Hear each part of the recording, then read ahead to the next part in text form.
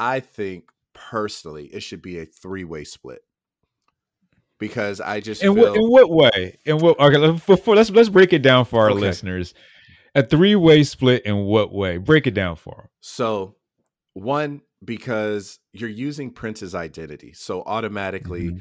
his trust because he's not here with us no longer. His trust or whoever's in trust and like whoever is in charge of that should Mhm. receive a piece of it because it's his likeness. It's just like um we all have heard of Shaq's uh, investments and how he's invested into this firm that owns the likeness of of uh, Elvis and Marilyn Mhm. Monroe. So whoever Yeah. uses it, his that firm gets a piece of it. So I feel that that's how that's one. That's the first one. Mhm. Two should definitely be the photographer, strictly because without the photographer telling Prince how to pose and position, Mhm.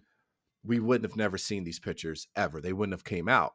So Mhm. that's that's two, and three is Warhol. Everybody knows his take on art, right? So everybody understands that what he's trying to do with this isn't like brand new. He's just changing it. He's creating it. He's giving a different look to it, giving it a different eye, adding his twist onto it. So I think it should be a three-way split to that point. Now, how much each one should get is Mm. very different.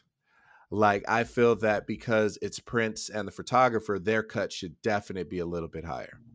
Versus Warhol's, who's like, let's be honest, like eh, it's not like he did a whole lot except like crop the head out pretty much or the body out and do something like that.